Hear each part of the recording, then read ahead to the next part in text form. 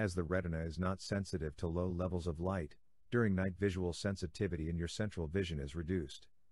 Objects at night will be more visible when looking at them using your peripheral vision. To effectively use your eyes at night, slowly scan small sectors of the sky. This enables you to deliberately focus your perception a few degrees from your visual center of attention. As you cannot see an airplane's shape at night, you have to rely on their navigational lights to determine its direction of travel. A green navigation light can be found on the right wing tip.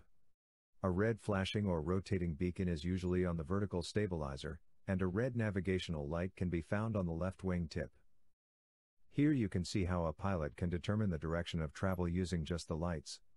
Hover over one of the smaller planes to see its flight path to determine if it is safe in relation to the main aircraft.